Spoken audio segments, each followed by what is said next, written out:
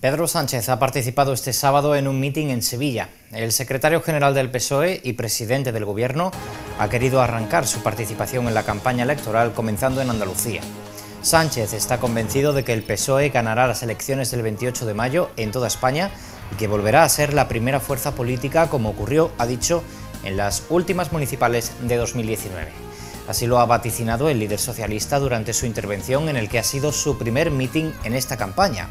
El acto se ha celebrado en el Palacio de Congresos y Exposiciones de Sevilla, a donde han acudido unas 2.800 personas, según los organizadores. Pedro Sánchez ha querido arropar al candidato socialista a la alcaldía de la capital andaluza, Antonio Muñoz, que aspira a repetir como alcalde. Precisamente en Sevilla, Pedro Sánchez ha mantenido un encuentro con asociaciones de lucha contra el cáncer, a las que ha trasladado el compromiso del Gobierno para implantar una ley de derecho al olvido oncológico para garantizar que las personas que hayan superado esta enfermedad no sean discriminadas a la hora de contratar un seguro o pedir una hipoteca. Es que vamos a reconocer el derecho al olvido oncológico de a todos aquellos pacientes que sufrieron el cáncer y lo han superado. Eso significa